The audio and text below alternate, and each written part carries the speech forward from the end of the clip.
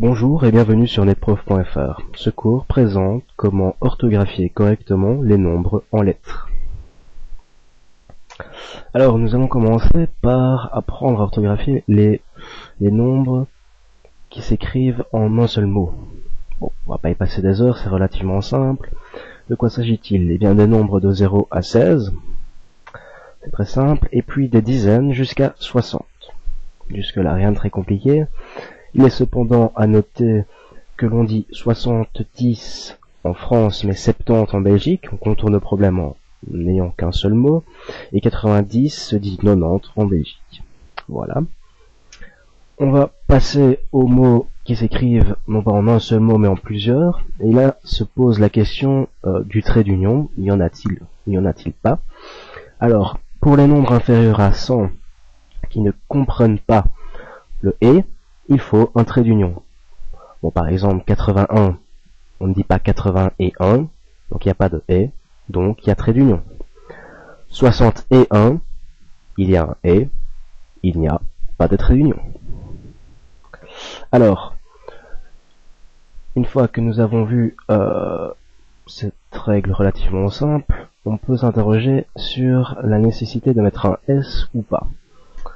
Alors, euh, pour le cas de 20 et 100, on l'accorde, donc on met un S, si rien ne les suit.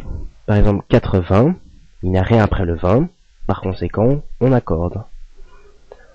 Alors, euh, si quelque chose les suit, au contraire, eh bien on n'accorde pas, c'est invariable. Par exemple 85, quelque chose suit 20, donc on n'accorde pas. Et par exemple 284, il y a quelque chose à nouveau après le 20, donc on n'accorde pas. De même que le 100 est suivi de 84, donc on ne l'accorde pas. Alors, milliers, millions et milliards s'accordent toujours. Relativement simple. 2 millions, il faut un S. 5, 5 millions, il faut un S. 1 million, il ne faut pas de S. Mais au contraire, 1000 reste invariable. 2500, 3500, 5500, 1000 reste invariable et ne prend pas d'S. Voilà. On peut passer en vitesse sur les rectifications orthographiques de 1990 qui recommandent l'emploi du trait d'union entre les numéros sans exception. Donc ce sont des recommandations, nous ne sommes pas obligés de les suivre, mais nous pouvons. Donc par exemple, dans le cas de 32 500 511, on peut relier tous les éléments de, ce nombre avec des traits d'union. Bien sûr, libre à vous de suivre ou pas cette règle. Maintenant, c'est correct. Voilà.